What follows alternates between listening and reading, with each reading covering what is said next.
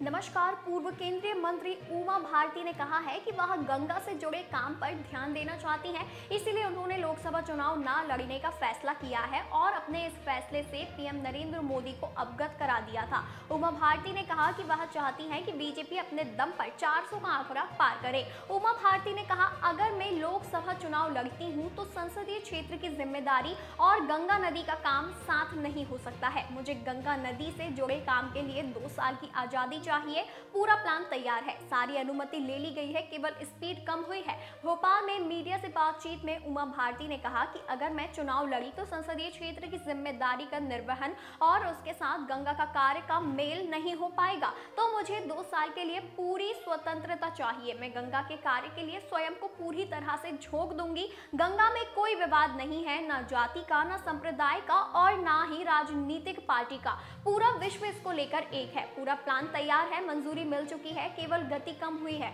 उसके कई कारण है। पीएम मोदी की गंगा में बहुत आस्था है। पीएम मोदी ने मुझसे कहा है कि तुम यह बात बी एल संतोष जी से कह देना। पूर्व सीएम उमा भारती ने आगे कहा कि 22 जनवरी की बात के बाद दो माला लेकर उन्नाव आई और गंगा जी में अर्पित की और कहा कि आपका काम दो वर्षों में संपन्न करूँगी, क्योंकि आपका काम तो संपन्नता की और ही था।